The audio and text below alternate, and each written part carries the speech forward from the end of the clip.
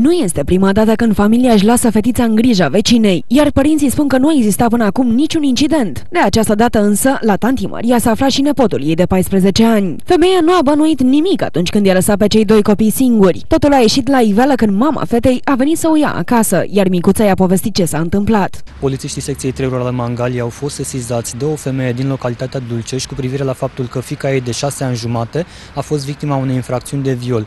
În cauza au fost uh, demarate cercetările, polițiștii stabilind faptul că suspect de comiterea acestei infracțiuni este un tânăr de 14 ani. Uh, fata a fost transportată la spitalul din Mangalia în vederea examinării de specialitate și de asemenea a fost uh, examinată de către Serviciul de Medicină Legală Constanța. Vestea a circulat repede prin sat. Oamenii sunt îngroziți că un astfel de eveniment s-a petrecut chiar în localitatea lor. Zice că ar fi lăsat-o măsa mare, acum nu știu cine, ar fi lăsat-o la vecini și are, ar avea un băiat, nu știu. Câți ani are, nu știu. Și că și-ar fi, ar fi profitat de ea. Dar uh, nu unde trebuie. Pe de altă parte, tanti Maria, bunica suspectului, nu realizează gravitatea faptelor minorului. Fetiță, eu n-aveți ce căuta, nu filmăm, nu, doar nu suntem criminali, eu și-am făcut primă.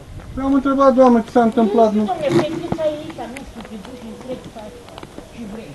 Aici nu e. Investigațiile medicale nu au scos la iveală nicio vătămare corporală asupra minorei. Cazul este cercetat în continuare de către polițiști pentru a stabili ce s-a întâmplat exact. Fetița este consiliată de un psiholog care îi va ajuta astfel pe oamenii legii să facă lumină în acest caz.